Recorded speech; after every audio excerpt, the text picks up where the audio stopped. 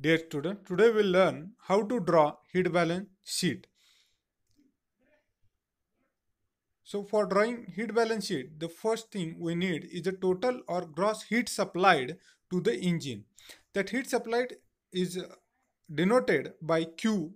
It is mass flow rate of fuel into calorific value that is CV of fuel.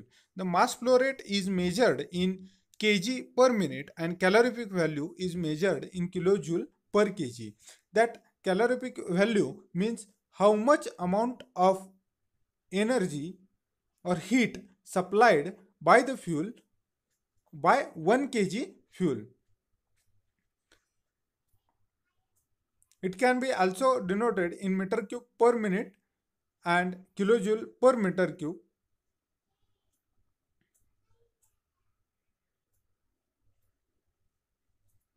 the meter cube meter cube will be cancelled and it will become kilojoule per minute as above. The calorific value of fuel is normally taken as of for petrol is 44,000 kilojoule per kg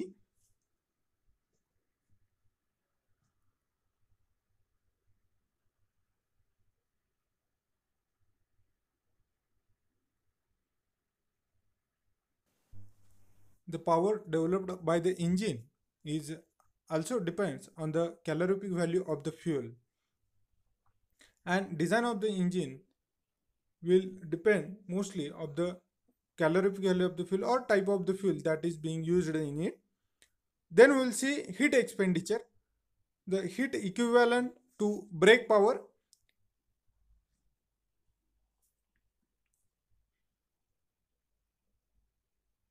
Then next is heat carried away by jacket cooling water that is heat carried by the water inside the cooling jackets of the engine.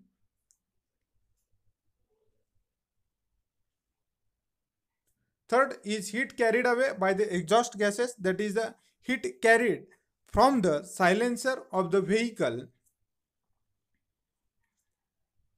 which again goes to the atmosphere.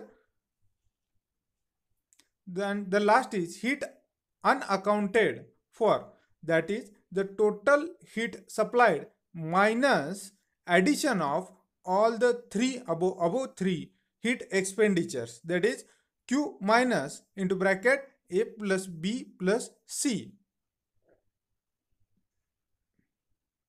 Again we will see heat equivalent to brake power that is if brake power is in kilowatt that is kilojoule per second then multiply it by 60 to convert it into kilojoule per minute.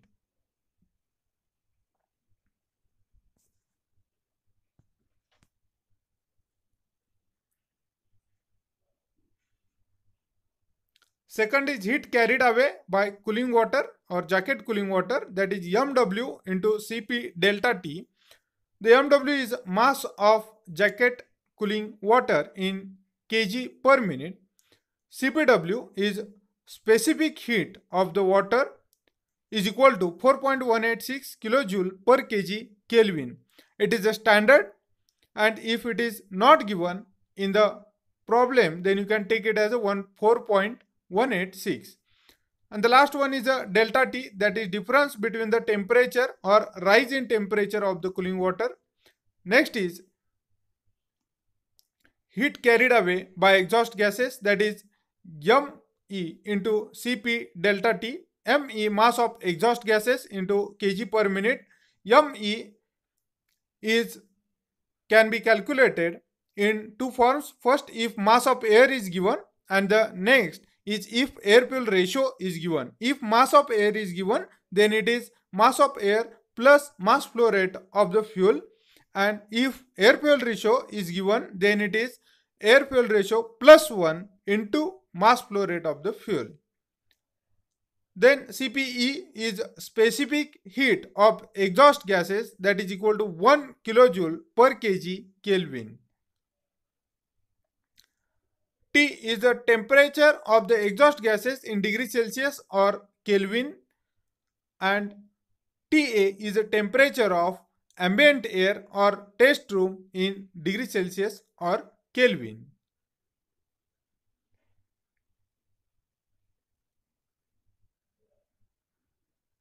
And the last one is heat unaccounted for. That is q minus addition of all the above three heat expenditures and the both value should be come same. Now we'll see in the tabular format the particulars. The first one is a total or gross heat supplied. It is a Q that will be the 100% of the heat. Then in the fourth row, you have to make the expenditures. The first one is heat, heat equivalent to brake power. Second, heat carried away by jacket cooling water and heat carried away by exhaust gases. And the last one, heat unaccounted for that are represented as A, B, C, D.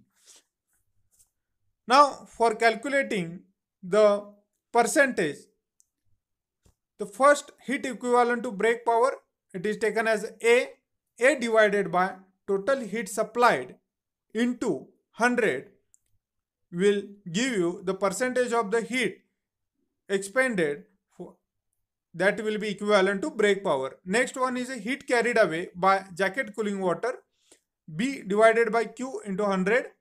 The third is heat carried away by exhaust gases that is C that is C divided by Q into 100 and the last one is a heat unaccounted for that is D divided by Q